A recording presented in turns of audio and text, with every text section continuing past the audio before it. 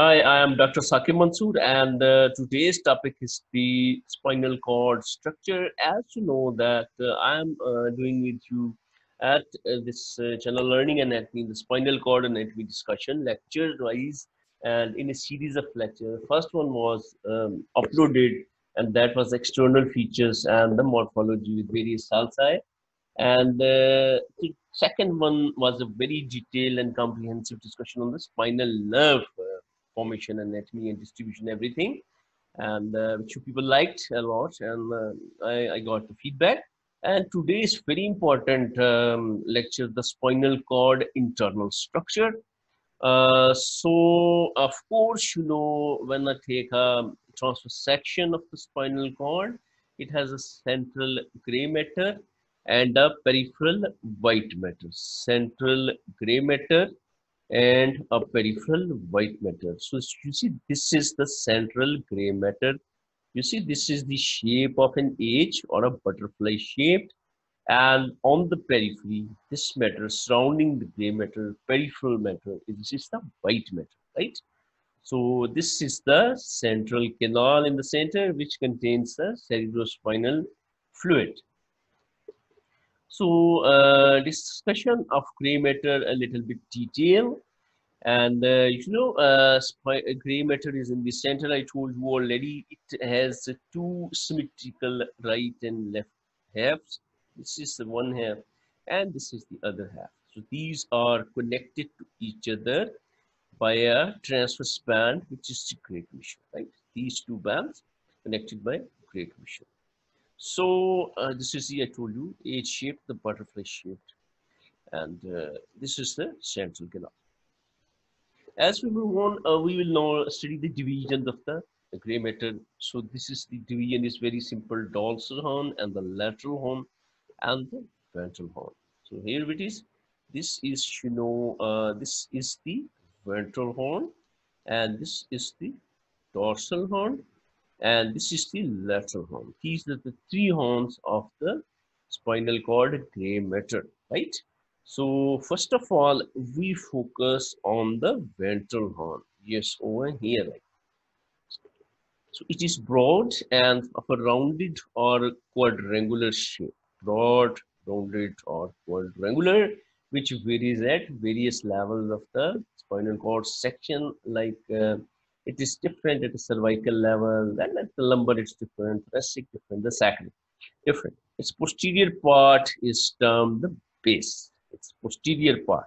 This is the posterior part of the ventral horn, this, and this is termed the base and the anterior part, this. This is the head. So this is the head of the ventral horn, and this is the um, you know base of the ventral horn. So this is directed forwards and slightly lateral, forwards and slightly lateral ventral. So of course they contain predominantly motor nuclei. So anterior horn is a motor one.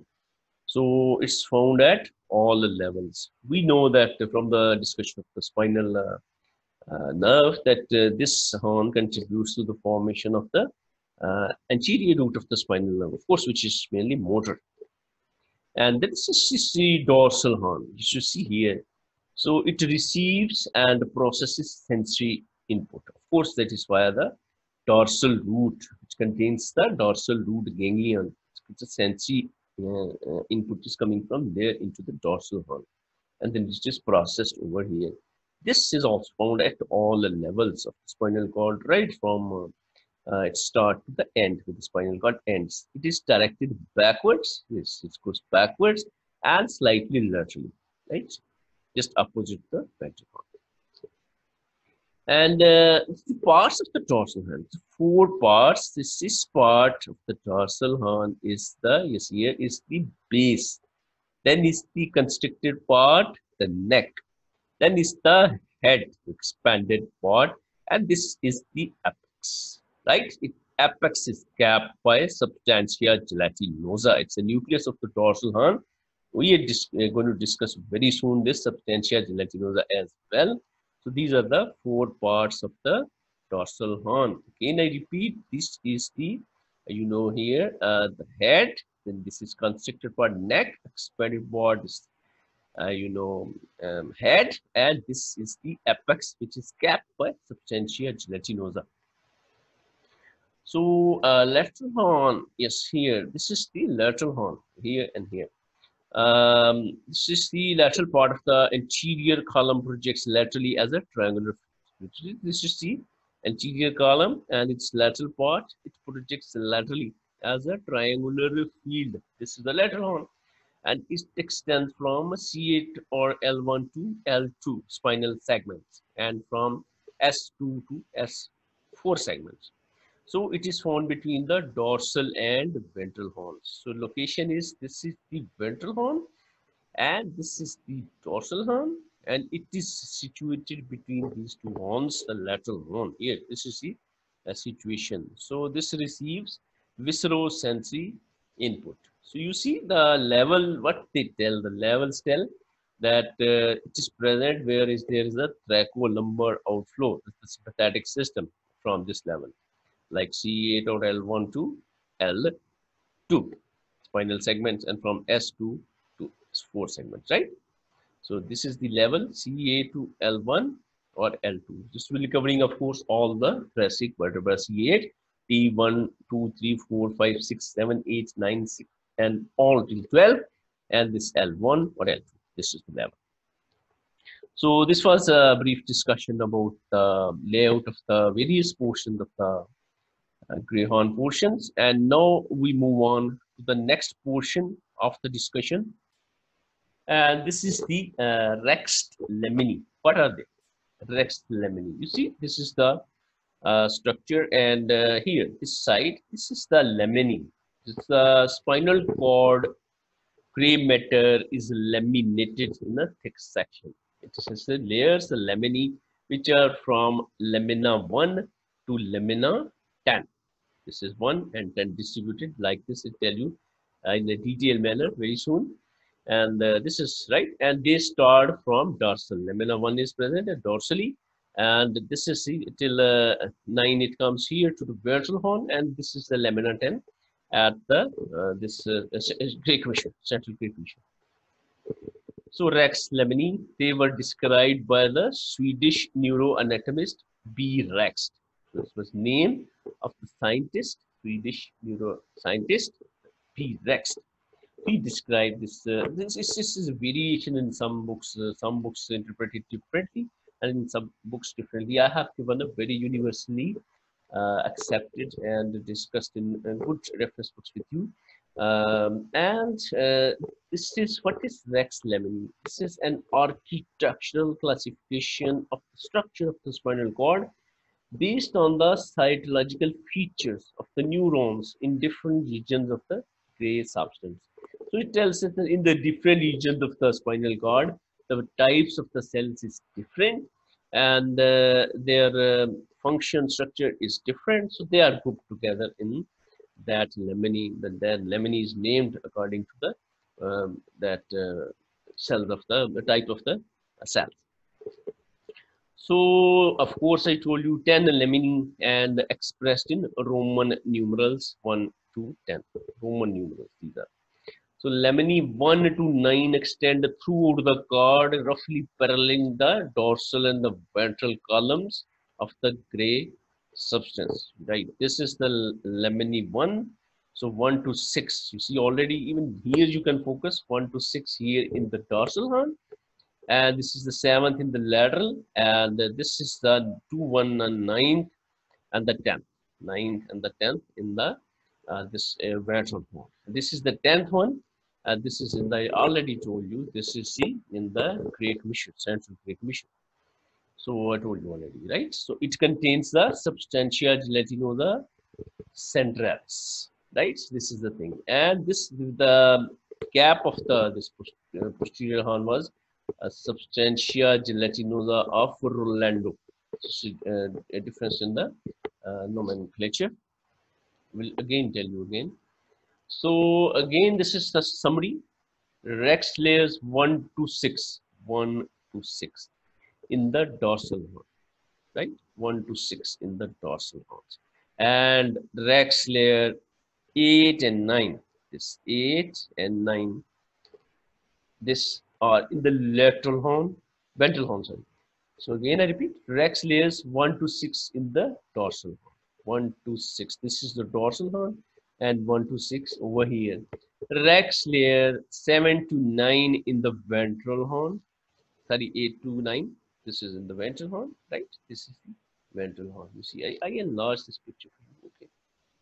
So let me enlarge. Maybe it's ambiguous. Let's uh, enlarge it. Here it goes, right? So 8 to 9, you see, it is labeled over here, right? So this is, uh, you know, uh, this is the 9 and the 10. This is this is a ventral horn, and this is a lateral 7 and 1, 2, uh, you know, 6. They are in the dorsal. This is the tween. So this is you can see yourself. So as we move uh, ahead, and uh, this is a few words about the cavity of the spinal cord. The cavity of the spinal cord, which is known the uh, central canal, right? This is the central canal.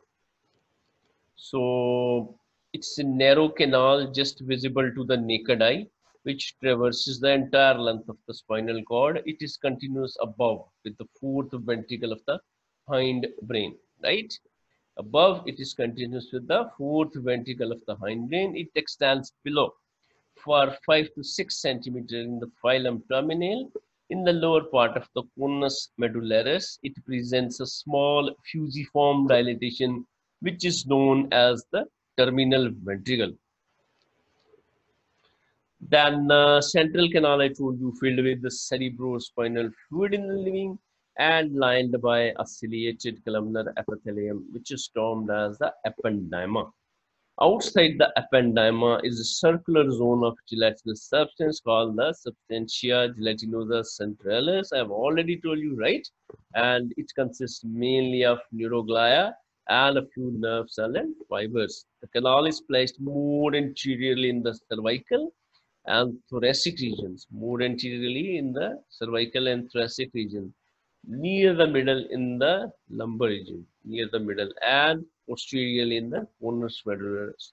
So uh, this is the position, uh, it goes from anterior to posterior, it's from above to downwards.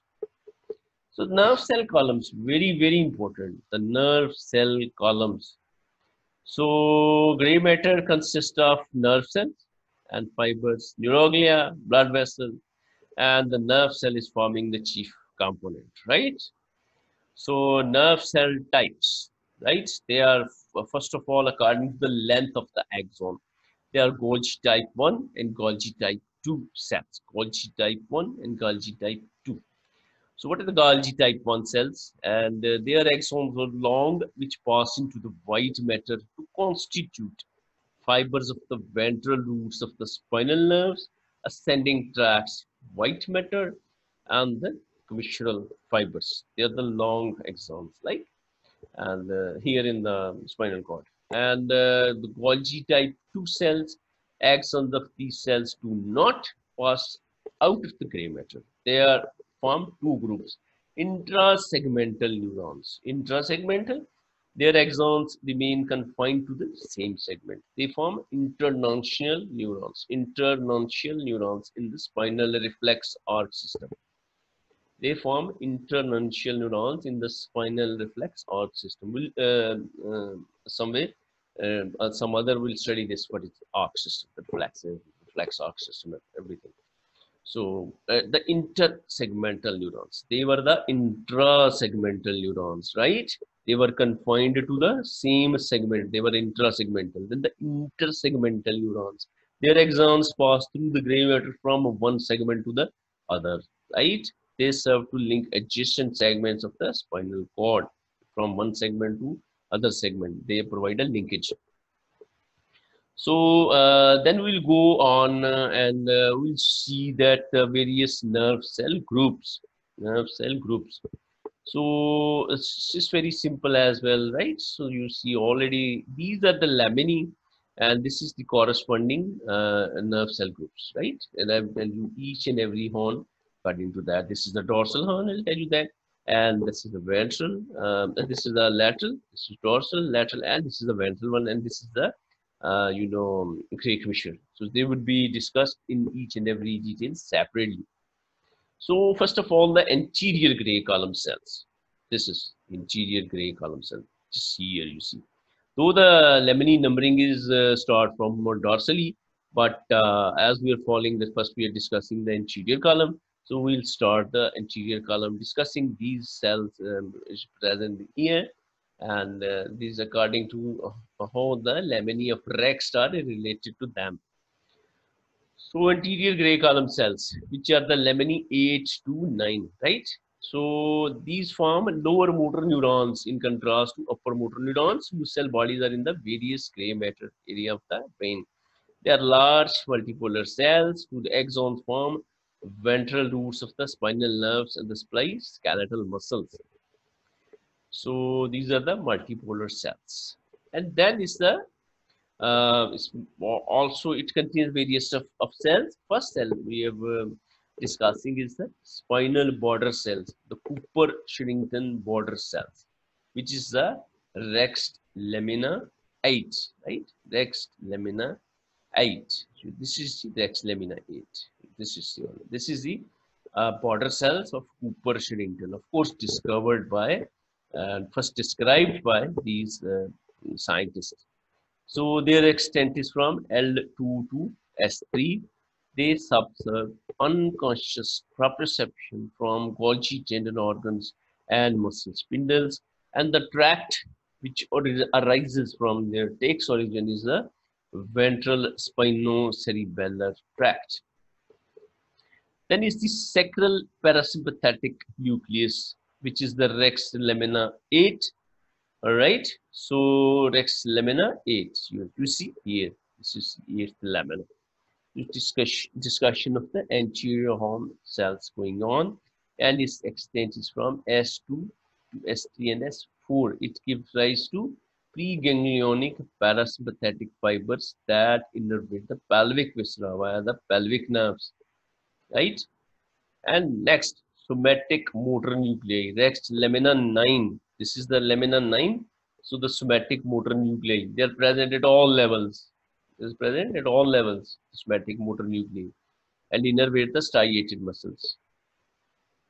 So the spinal accessory nucleus, very important, spinal accessory nucleus, Rexed laminae 9. So uh, this is the Rexed laminae, you know, 9. You see here, this is the 9 and its extent is from C1 to C6, right? And gives origin to the spinal root of the spinal accessory nerve. It provides a nerve supply to the trapezius and sternocleidomastoid muscles. This you already know. And uh, phrenic nucleus, right? So this is the Rexed lamina 9. Again, this is the lamina 9 over here. Yes, this. And this also contains the phrenic nucleus extent is from C3 to C6. It innervates the diaphragm. So uh, these were the various cells I told you already. This is this is um, um describing with you right here, and uh, you see like the phrenic uh, enumerated the, this mentioned specifically in the slide: spinal axis, the somatic motor, sacral parasympathetic, and the spinal border cells. And uh, these cells uh, you see are uh, grouped here anteriorly in three groups, which is the lateral group, the central group, and the medial group. So I am going to describe with you right now the what nuclei are present in the uh, you know here medial group, the central group, and the lateral group respectively. So let's discuss anterior gray column cells and the three columnar groups Rexed laminae 8 to 9 these are the various, various laminae, right? So we're going on, these are the three groups. They present in the column of cells. These are the three column of cells. This is the medial, this is the central, and this is the lateral group. And you already uh, make into your mind so that uh, if this is, uh, this is the medial one, so it contains the uh, all right three types of cells and uh, this is the uh, central also this is the two and I, I tell you accordingly this is the medial group right first of all we discuss the medial group and GDA gray column cells the X this and the medial group this is the medial group and it supplies muscles of the trunk. And this medial one is subdivided into two groups. From this, this is like use this, and you can divide uh, with like this line. And anteriorly is lying the anteromedial group, anteromedial group, and posteriorly is lying the posteromedial group. So this anteromedial supplies the muscles of the back and the posteromedial supplies the anterolateral group of trunk muscles, right? So then the lateral group, this is the lateral group which is, supplies muscle of the limbs and so present in the cervical and the lumbar enlargements. It is subdivided into three groups in each enlargement, the cervical enlargement and the lumbar enlargement. So the lateral group is divided into uh, three subgroups, lateral group. What are they? So first of all is the anterolateral. Anteriorly is the, this is the lateral groups and this uh, anteriorly, this is the lateral side, anterolateral, right? In the cervical enlargement the shoulder and the arm muscles. And in the lumbar enlargement, it supplies hip and thigh muscles, right? This was the first group. And as we go uh, here in the central group, right, posterior to the anterolateral, this is the posterolateral. Here is the posterolateral. What is that? First, number A is the cervical enlargement supplies forearm muscle.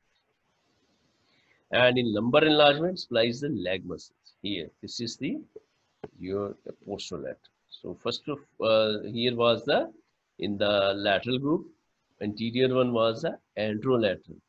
Posterior to the that was the uh, posterolateral, and more uh, posteriorly, posterior most over here on the lateral one group is the posterior posterolateral. One can say dorsal posterolateral. So uh, in cervical enlargement supplies hand muscles, like the hand muscle. And in lumbar enlargement supplies foot muscles, right? This is important. And uh, now uh, what's left is over here. This is the central group, right? Uh, this is described in some cervical and lumbosacral segments. Cervical, what uh, is the uh, position, what is the contents at the cervical level? Uh, C3 to C7 spinal segments of phrenic nucleus. This is identified which supplies the diaphragm, right? Central group. So this is the, uh, you know, spinal, this is the spinal segments, the phrenic nucleus. And then is the lumbosacral L2 uh, S1 spinal segments. The distribution of its axons is not known. And the third one is the spinal accessory nucleus, right? Which C1 to C6 give rise to the spinal accessory nerve. So these are three mentioned, and this phrenic nucleus and the spinal accessory nerve nucleus. These are the main nuclei present over here. So this this is the discussion over here, right? So you repeat, this is the medial group, right? It's and I told you already, right? This was the mention over here. Right? You can go back and uh, you see this is the medial group, anteromedial and posteromedial. You see the large picture. This medial contains anteromedial and the posteromedial, right? Again, you see this is the anterior group, and this is the uh, medial group contains the anteromedial and the posteromedial. So the likewise if they complete, this is the central group discussed with you already, and this is the lateral group. It also divided into uh, three uh, portions of nuclei. So a uh, few words about the Renshaw cells. Cell. This is the cell, the typical Renshaw cell. What is this? This is an inhibitory interneuron present in the gray matter. These are small oval cells, 12 to 15 micron in diameter, whose axons pass through ventral roots to supply intrafusal fibers of the neuromuscular spindles responsible for muscle tone. So their action represents a negative feedback mechanism. You see, this this is the alpha motor neuron. Uh, so whose uh, contraction uh, is whose uh, firing and the nerve impulse goes to the muscle and uh, the muscle contracts and to keep this in check uh, this Renshaw cell is responsible. So let's see how. So it has two ways to associate with the alpha motor neuron Renshaw cell. It first of all receives an excitatory collateral, right? You see, this is the alpha motor neuron. this is the Renshaw cell, right? And this is the, uh, you know, alpha motor neuron axon going into, of course, anteriorly uh, to the anterior uh, um, root and which is, of course, motor. And there's a um, uh, going a collateral. This is a collateral of alpha motor neuron. This is would be the stimulation going to the Renshaw cell, right? The excitatory collateral, right? This so it, uh, you know, emerged from the anterior root and are thus getting information of the firing intensity of that neuron. And then this neuron, this, this inhibitory axon, this was the collateral was excitatory. And this is an inhibitory axon.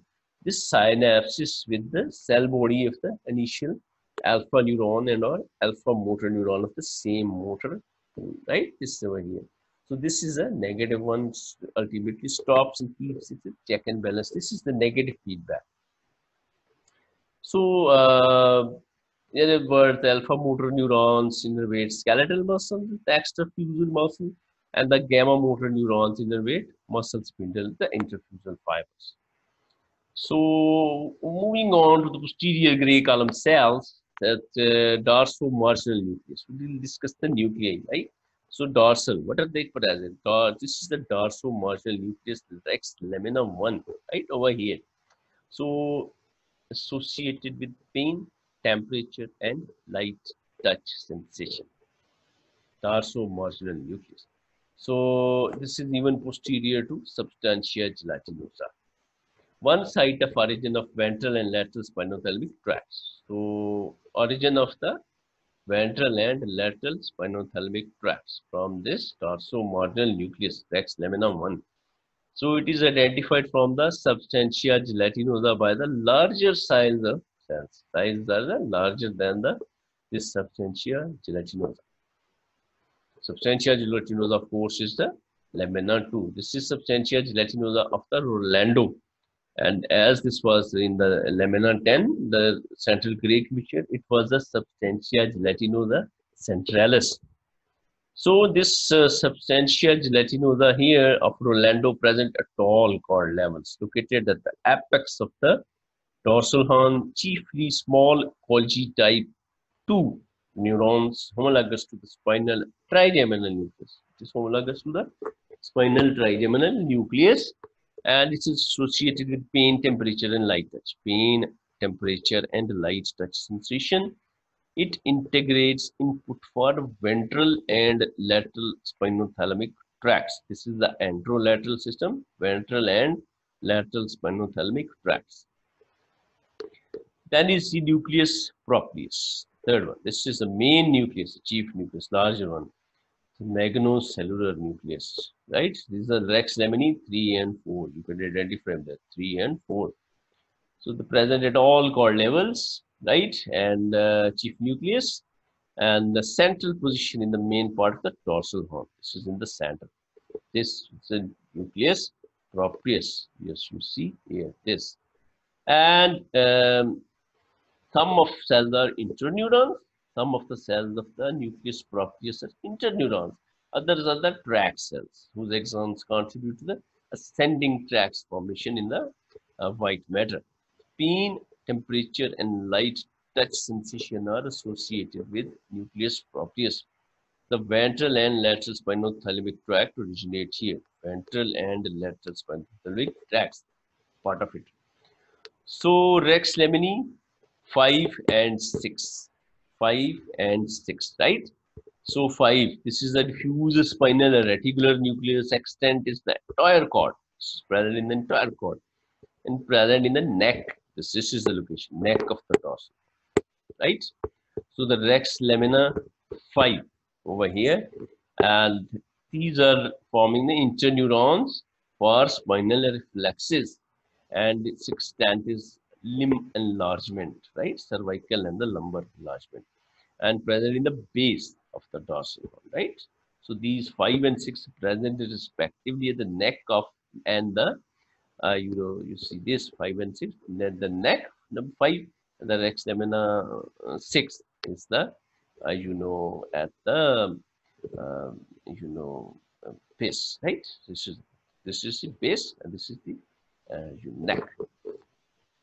Then it's very important, the posterior thoracic nucleus, nucleus dorsalis of Clarke, Rexed lamina 7.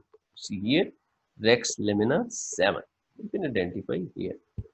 Uh, this is the point and uh, it extends from C8 or T1 to L3 in posteromedial part of the dorsal horn, homologous to the accessory cuneate nucleus of medulla. You must have identified this, Um, this nucleus dorsalis. Here it is, right? Nucleus dorsalis. So which is Rexed lamina 7. Here you see, this is the Rexed lamina. This is labeled 7. So homologous to the accessory cuneate nucleus of medulla involved in unconscious proprioception from muscle spindles and Golgi tendon organs, dorsal spinocerebellar tract originates here. Then another nucleus, visceral afferent, also present in the same lamina, Rexed lamina 7, is poorly defined and extent is from T1 or L2 and S2 to S4 spinal segment situated in the base of the dorsal horn and lateral to the dorsal nucleus and dorsal to the lateral gray column, right? To see its location. We just identify, I think we have to enlarge the small nucleus. Let's get, you know, it's enlarged, right? So this is, uh, you know, the nucleus um, um, proprius, and this is the nucleus dorsalis, and just the lateral to that is the that nucleus our uh, next uh, visceral afferent, right? Not uh, I mean, uh, shown over here, but this is the lateral to its the um, this visceral afferent nucleus, right? The base the dorsal horn, which is the rexed lamina seven. You also identify here. Bit focus, focus on it. Yes, please. Yes, yes. So see, this is lamina seven one here, right? So this is the nucleus dorsalis and the lamina 7 and lateral to that is the nucleus dorsalis lateral to that is the visceral afferent nucleus not uh, labeled over here then the lateral gray column cells right? So the two types of cells. And uh, this uh, this is smaller anterior uh, than anterior gray column cells lateral gray column cells rexed laminae 7 and 10 so uh, Axons of these cells pass in the ventral nerve root and the constitute preganglionic sympathetic fibers in the thoracolumbar region and preganglionic parasympathetic fiber in the region in the sacral region. Then is the lateral gray column cells are continued, the rexed lamina 7 and 10, and uh, this 10 is included in the lateral gray column because from this gray commissure they extend into this lateral one, right? So contains the intermediolateral, right? and the intermediomedial, intermediomedial and the intermediolateral group. So what is intermediolateral? You can see this labeled over here. This is the intermediolateral and this is the intermediomedial nucleus. So two nuclei. So intermediolateral is the visceromotor nucleus extends from T1 to L3. It contains the intermediomedial nucleus, so the column uh, of visceromotor nucleus that extends from T1 to L3. So intermediomedial extends from T1 to L3 and intermediolateral extends from T1 to L3, same extent. So it contains preganglionic or motor sympathetic neuron, which is a general visceral efferent. It contains the T1 to T2, the ciliospinal center of Budge, which is a sympathetic innervation of the eye. So then the Rexed lamini 10, this was the, you know, gray commissure.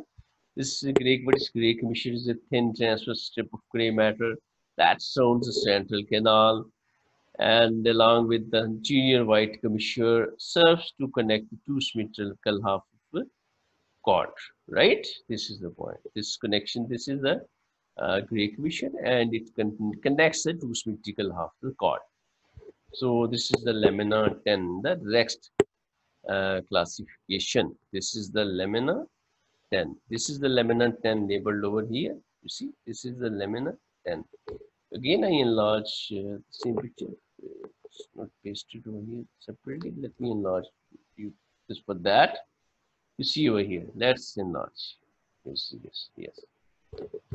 So this is the labeling, right? This is the lamina, uh, you know, uh, 10, and this is the substantia gelatinosa centralis, right? So this is the ventral horns, and this is we're talking about the, uh, you know, dorsal horns. So this was the lamina 1, which is the, uh, you know, posteromarginal nucleus. Then the lamina 2, substantia gelatinosa, and then the nucleus proprius, lamina 3 and uh, 4, and the nucleus dorsalis, right? This is the dorsalis here, and also the nucleus proprius. These are the two nuclei. This is the nucleus proprius, right? And this is the nucleus dorsalis, and the lateral to that would be the not um, mark, and this is the visceral afferent nucleus, right? So these are the intermediate medial and intermediate lateral nuclei. So this was discussed so far. So and also this is in the anterior gray column I discussed with you in detail, right? These are the medial group, the central and the lateral, all the various like the phrenic and the accessory and everything that you discussed. And uh, so beautiful, I made it for you especially. Uh, this is the nuclei present in the gray column, right? This is sort of 13 nuclei and the extent, right? And you can obviously correlate these uh, nuclei where these are present in the next laminae, I told you already. So nuclei present in the gray column and the posteromarginal nucleus, the substantia gelatinosa, nucleus proprius, diffuse spinal reticular nucleus, interneurons for spinal reflexes, central cervical nucleus, Clarke's column, intermediate medial, intermediate lateral. These two like present in the lateral horn. The Cooper-Sherrington border cells, interneurons motor neurons, motor neurons alpha and gamma, and the central gray nucleus, right? These are the various types of the nuclei in the gray column. And they extend already told you in each and every slide separately. So this was a I mean, uh, discussion uh, uh, with you about the structure of the spinal cord mentioning all the important nuclei.